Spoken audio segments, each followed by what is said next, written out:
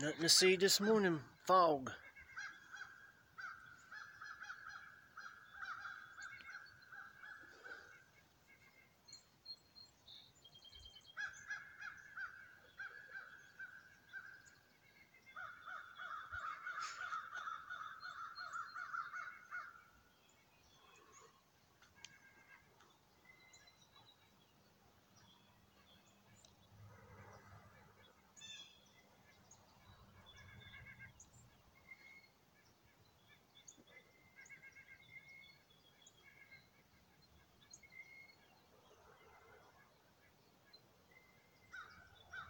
Looks like it frosted last night.